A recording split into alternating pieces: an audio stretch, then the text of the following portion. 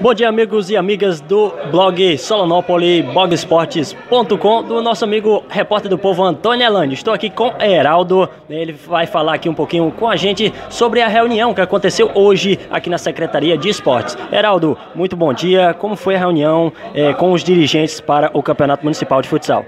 É, bom dia, Hans, bom dia, Antônio Elani e, e os que acompanham o blog dele. É, Cara, foi muito bom a reunião porque saiu todo mundo decidido daqui como vai ser, todo mundo já sabe como vai ser a competição, o que quantos reforço pode, o que não pode. E todo mundo já.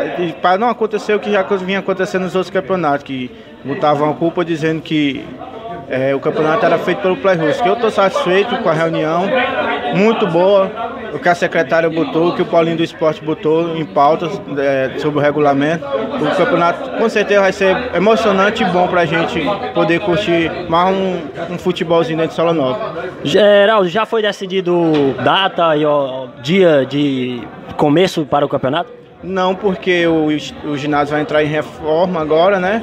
Mas ele disse que daqui para outubro ele dá um. Ele, dá, ele diz quando é que vai ser a competição, quando começa a iniciar. Mas pelo que eu vi, próxima semana eles vão entregar as fichas do campeonato. Fazer aqui para começar a se preparar, treinar já para estar tá pronta para o campeonato. Geraldo, muito obrigado pela participação. Obrigado a você, Anderson. Valeu.